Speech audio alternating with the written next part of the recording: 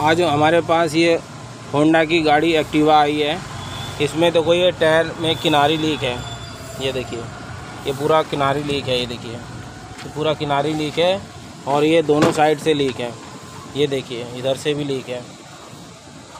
और उसमें एक पंचर भी लीक है।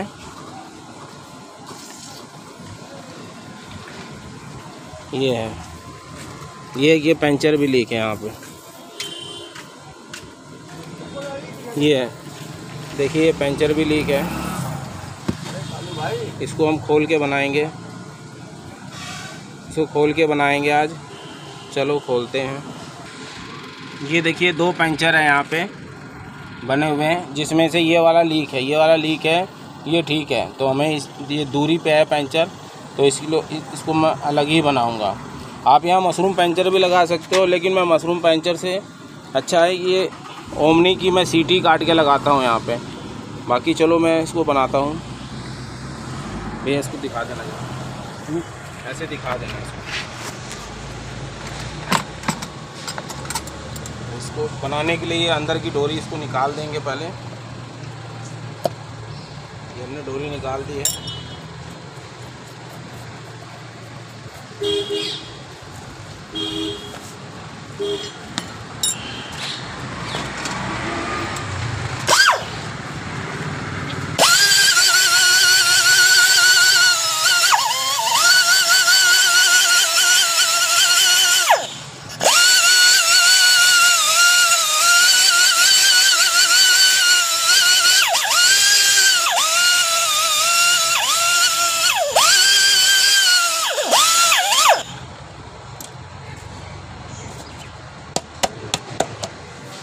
इसमें चौड़ा कट लगा हुआ है इसलिए घिसाई थोड़ी चौड़ी लेंगे।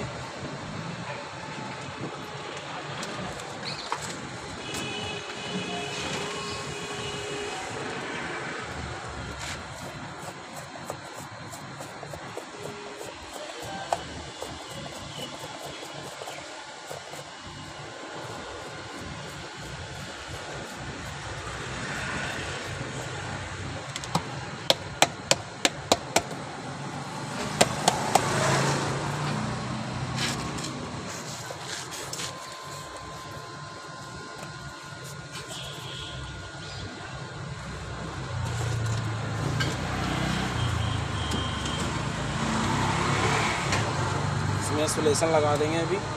थोड़ा देर सूखेगा सुलेसन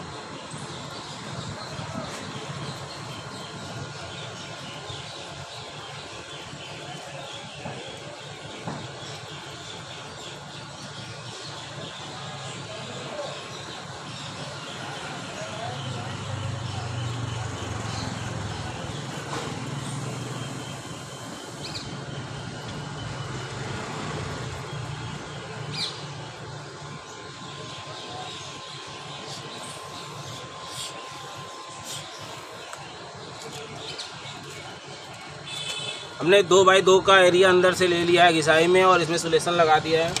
बाकी इसमें अब एक कच्ची रबड़ लगा दूँगा मैं पहले।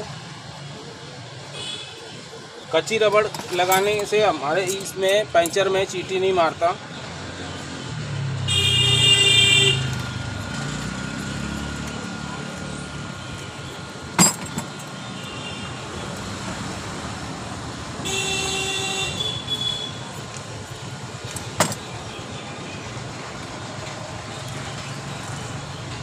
सॉफ्ट रबड़ है ये।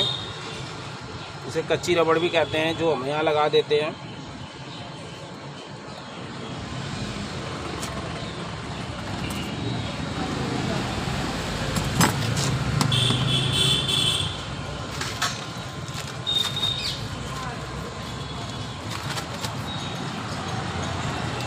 इस पर रोलिंग भी कर देंगे।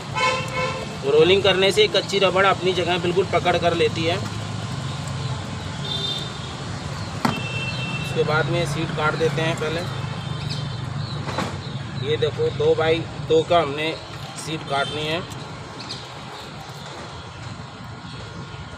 दो इंची की मतलब दो इंची चौड़ाई और दो इंची लंबाई इसकी कटिंग करनी है हमें। ये देखिए, ये हमने उंगली से नाप लिया है, दो इंची इधर से और दो इंची इधर से।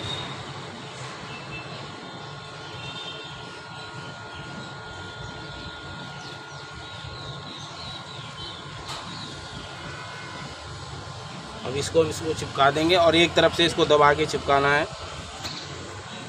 क्योंकि इसकी एयर निकलनी चाहिए। एयर नहीं होनी चाहिए इसमें। ये देखिए, एक तरफ़ से हल्का हल्का पहले उंगलियों से दबा दबा के इसको, पेंचर को दबा दीजिए, स्टिकर को।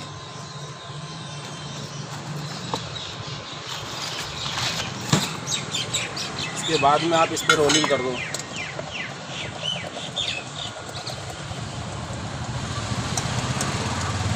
यहाँ पे मशरूम पैंचर भी लगा सकते हो, लेकिन मशरूम पैंचर मोटे टायरों पे ज़्यादा कामयाब है, ये पतले टायरों पे नहीं ज़्यादा कामयाब है, क्योंकि वो मशरूम जब ये चलता है टायर तो ज़्यादा दबने की वजह से वो मशरूम पैंचर छोड़ देता है। तो उससे बेटर ये है, बहुत अच्छा है, ये चलता है सीट वाला पंचर। ये पकड़ इसकी बहुत हो जाती है और सॉफ्ट होने की वजह से इसकी लचक बनी रहती है।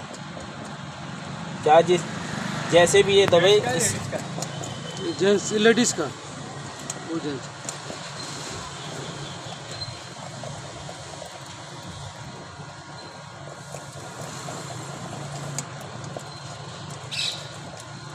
तो ये पंचर तो बन गया है, अब इसको हटा देते हैं। अब बात रही किनारी लीक की, ये देखिए इसमें जंग लगा हुआ है। ये आपको लाल निशान नज़र आ रहा होगा। अब इसकी पहले थोड़ी सफ़ाई कर देंगे। ये देखिए रेगमार हमारा इसमें भी काम आता है।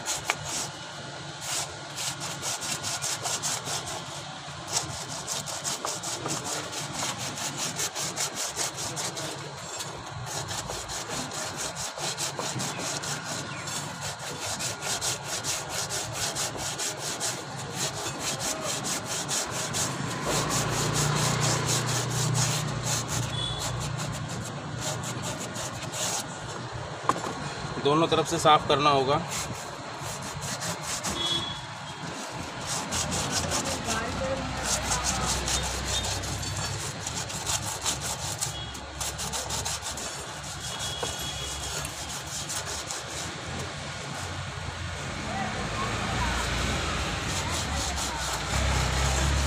ये रेगमार से हमने घिसाई इसकी कर दी है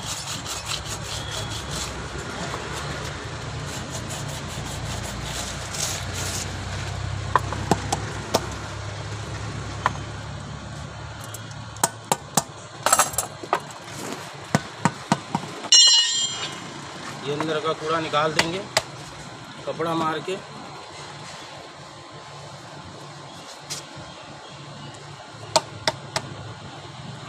ये हो गया, अब रिम की भी थोड़ी सफ़ाई करनी पड़ेगी।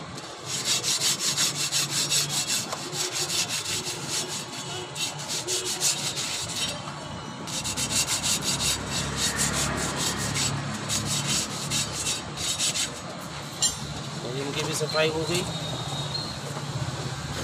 पे कपड़ा भी मार देंगे।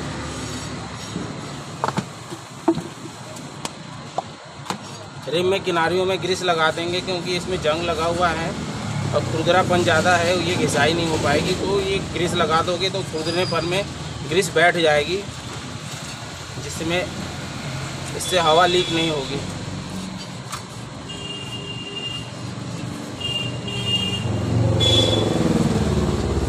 ये हो गया। और ये नलकी के पास यहाँ पे ग्रीस ज़रूर लगा देना, क्योंकि नलकी के पास से भी लीक होने लगता है जंग लग के। जब खुला है तो इसमें भी ग्रीस लगा देंगे।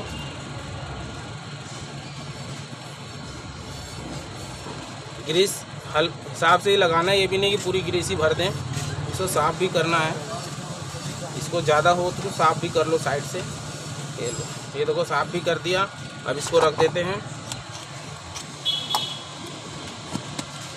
टायर की किनारियों में ऑयलिंग कर देते हैं। ये देखिए। इसमें जंग ज़्यादा लगा हुआ है, थोड़ा ऑयलिंग सही से करना पड़ेगा। टू प्लस टायर में ऑयलिंग कर दोगे उससे कोई दिक्कत नहीं है।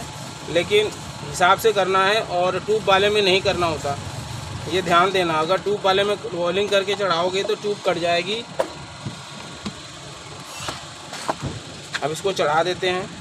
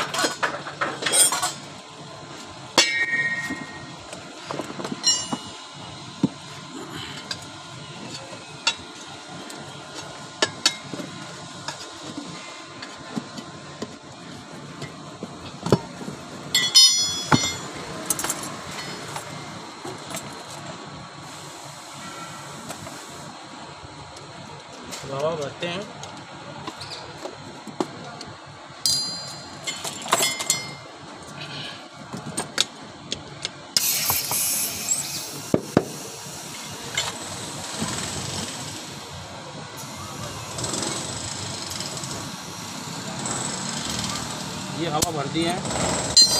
बाकी चलो चेक कर देते हैं इसकी किनारियाँ देखो चेक कर दे रहे हैं। ये ओके हो गई रिपोर्ट वाल भी चेक कर लो। इसके बाद में इधर से भी चेक कर लो। ये दोनों तरफ़ की किनारियाँ भी चेक हो गई। और अब ये जाने पंचर बनाया था, ये देखिए। ये पंचर बनाया है। ये भी ओके हो गया। अब चलो फिट कर देते हैं इसको।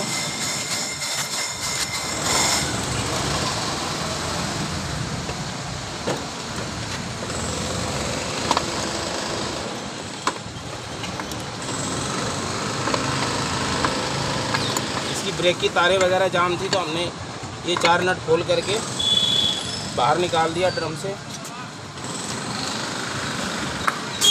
क्योंकि कई दफ़े तारे अगर आप लूज करते हो, जंग लगा रहता है तो तारे टूट जाती हैं। कोई नाराज़ ना हो तो इसलिए हमें ये चार नट खोल करके फिटिंग करना होता है।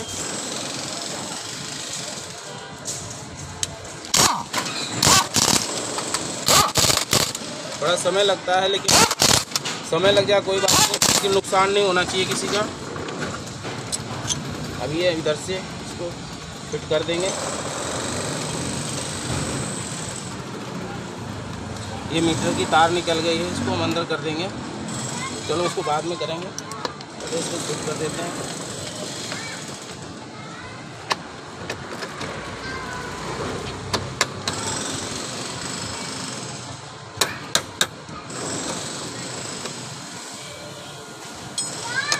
सेंटर में मिला लेना। ये यहाँ पे देखो, ये नक्का है। इसमें ये ड्रम प्लेट को लगना चाहिए। इस नक्के में फंसना चाहिए इसको सही से।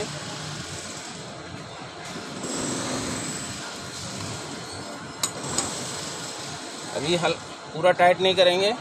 अब इसकी हम मीटर की तार को अंदर कर देंगे। घुमा घुमा के।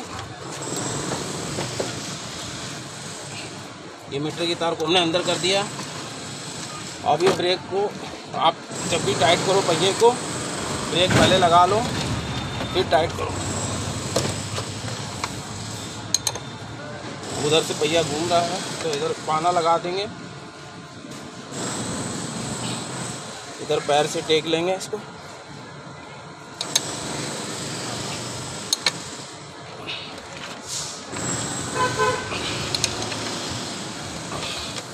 पहिया टाइट करने के बाद ये पहिया फ्री घूमना चाहिए। पहिया फ्री घूम रहा है। और ब्रेक भी सॉलिड लग रही है। बाकी दिखाओ। बाकी अगर आपको मेरा ये काम और ये जानकारी सही लगी हो तो प्लीज़ मेरे चैनल को लाइक शेयर सब्सक्राइब करना। जय हिंद। आज हमने जिसकी गाड़ी में पंचर बनाया है उसी से सहायता ली है वीडियो बनाने में। बाकी वीडियो में कोई गलती हो जाए तो माफ़ करना। जय हिंद।